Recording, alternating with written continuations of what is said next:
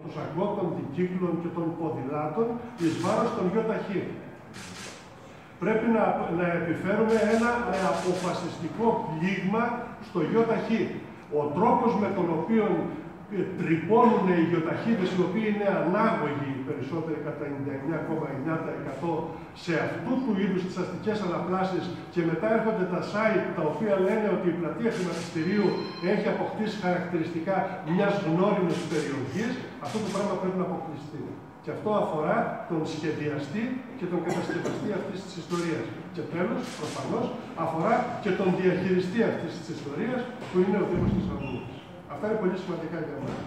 Το τρίτο πρόβλημα το οποίο υπάρχει είναι, και θα μπορούσα να μείνω μόνο στα καλά λόγια, αυτό εννοώ. Θα μπορούσα να πω ότι αυτά όμως δεν τα θεωρώ αυτονόητα, έτσι, αυτό είναι μια παρένθεση που κάνω. Ότι είναι ένα έργο αστικής ανά αυτό, ότι, είναι, ότι έγινε από τη Διεύθυνση Αρχιτεκτονικών Μελετών 6